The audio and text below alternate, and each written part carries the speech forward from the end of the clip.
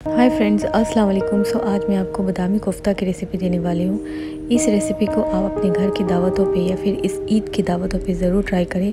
लोगों को बहुत पसंद आने वाला है। अगर आप मेरे चैनल पे नए हैं तो प्लीज़ मेरे चैनल को सब्सक्राइब ज़रूर कर लें।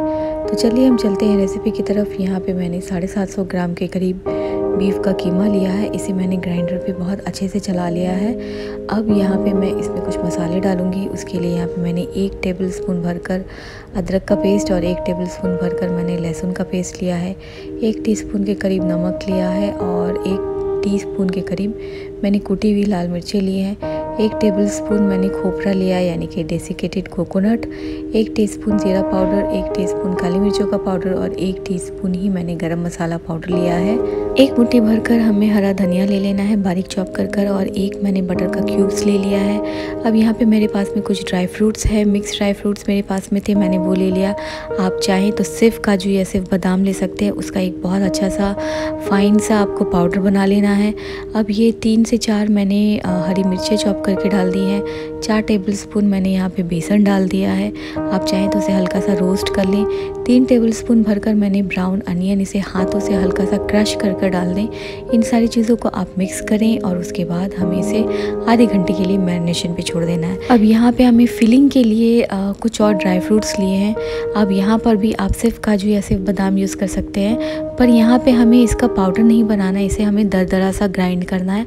आप चाहें तो हाथों से बारीक चॉप कर सकते हैं। अब हमें यहाँ पे कीमे का थोड़ा सा पोशन लेना है और उसके बाद उसके बीच में वो जो फीलिंग है वो डाल देनी है और उसे बहुत अच्छे से सील कर लेना है। आप इस बात का ख्याल ज़रूर रखें कि आपके जो बॉल्स हैं, उसमें किसी भी तरह का कोई क्रैक्स नहीं हो। वरना जो स्टफिंग है वो बाहर आ सकती है। अगर क्रैक्स होगा तो वो हमारा जो बॉल्स है वो फ्राई करते वक्त फटेगा और हमारी जो अंदर की फीलिंग है वो बाहर आ जाएगी।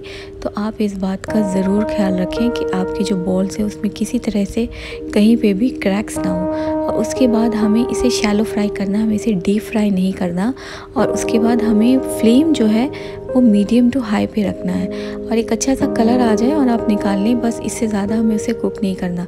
अब मैं आपको इसका एक बॉल्स कट करके दिखाती हूँ। इसके बीच की जो स्टफिंग है, ये देखिए। जब आप ये खाएँगे और आपकी जो गेस्ट आएँगे, वो खाएँगे, उसका जो टेस्ट आएगा, वो बहुत ही ज़बरदस्त। और देखने के लिए भी ये बहुत ही बढ़िया लगता है। अब यहाँ पर मैं दूसरा पैन ले रही हूँ ग्रेवी के लिए। मैंने वही ऑयल यूज़ किया है जिसपे मैंने अपना कोफ्ता फ्राई किया था। अब मैंने इसमें दो तेज़ पत्ता एक बड़ी इलायची डाल दी हल्का सा सॉटे करें, उसके बाद यहाँ पे मैंने दो मीडियम साइज़ अनियन का पेस्ट बना के डाल दिया था। इसे हमें अच्छा सा फ्राई करना है ताकि जो प्याज का कच्चापन है वो चला जाए और एक टेबल स्पून मैंने अदरक का पेस्ट एक टेबल स्पून लहसुन का पेस्ट डाल के मैंने इसके साथ भी फ्राई किया है ताकि हमारा जो अब अदरक लहसुन का पेस्ट उसका जो कच्चापन है वो भी चला जाए। ज़रूरत पड़े तो आप थोड़ा सा पानी डाल दें। अब मैं इसमें एक टीस्पून के करीब नमक, एक टेबलस्पून लाल मिर्चों का पाउडर एक टीस्पून हल्दी पाउडर एक टीस्पून ज़ीरा पाउडर एक टीस्पून मैंने काली मिर्चों का पाउडर और एक टीस्पून मैंने गरम मसाला पाउडर लिया है। अब इन सारी चीज़ों को हमें अच्छा सा भूनना है। ज़रूरत पड़े तो आप इसमें पानी ऐड कर सकते हैं। दो टेबल मैंने टमाटो प्यूरी लिए है। आप चाहें तो टमाटो पेस्ट भी ले सकते हैं। दो टेबल मैंने यहाँ पे दही लिया है। दही को आप फेंट कर इस्तेमाल करें। अब इन सारी चीज़ों को हमें बहुत अच्छे से भूनना है। भूनते वक्त आप फ्लेम को स्लो रखें, कवर करें और इसे अच्छे से भून लें ताकि इसका जो ऑयल है वो ऊपर आ जाए। ये देखिए, हमारा जो मसाला है वो बहुत बढ़िया तरीके से भून चुका है। अब इसमें फ्लेवर के लिए मैं एक चिकन क्यूब्स यूज़ करूँगी। इसे आपकी ग्रेवी पे बहुत अच्छा सा टेस्ट आ जाता है। हाफ़ कप के करीब मैंने यहाँ पे ब्राउन अनियन यूज़ किया है।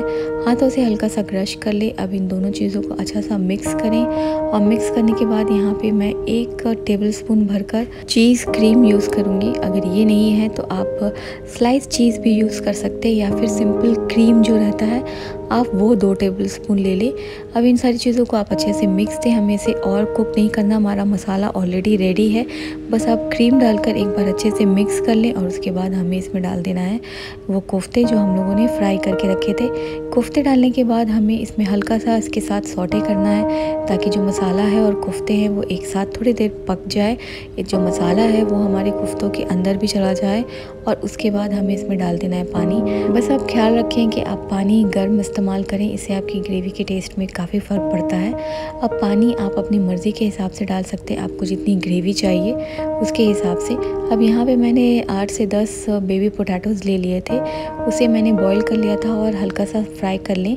यहाँ पे मैंने कुछ ड्राई फ्रूट्स चॉप करके फ्राई कर लिए हैं ऊपर गार्निशिंग के लिए। और उसके बाद यहाँ पे देखिए कोफ्ता ग्रेवी के साथ में कुछ देर पकाने के बाद हमने इसमें बॉयल्ड आलू डाल देना है। हमारी जो आलू है वो ऑलरेडी बॉयल्ड है और हमने फ्राई भी कर लिया है। तो इसके साथ हमें और कुक करने की ज़रूरत नहीं है। तो बस एंड पे डालें हरा धनिया चॉप कर कर मिक्स करें और उसके बाद दो से तीन मिनट हमें इसे दम पे छोड़ देना है ताकि इसका जो ऑयल है वो प्रॉपर सरफेस पे आ जाए। और ये हमारी ज़बरदस्त सी बादामी कोफ्ता रेडी है। इसे आप अपने घर के दावतों पे ज़रूर ट्राई करें। आपको बहुत अच्छी लगी अगर आप ट्राई करें तो मुझे कमेंट्स करके अपना फीडबैक ज़रूर दें। अगर मेरी रेसिपी अच्छी लगी तो मेरे चैनल को सब्सक्राइब ज़रूर करें। लाइक बटन ज़रूर दबाएँ। तो मिलते हैं हम आपको अपने अगली रेसिपी के साथ। तब तक के लिए अल्लाह हाफिज़।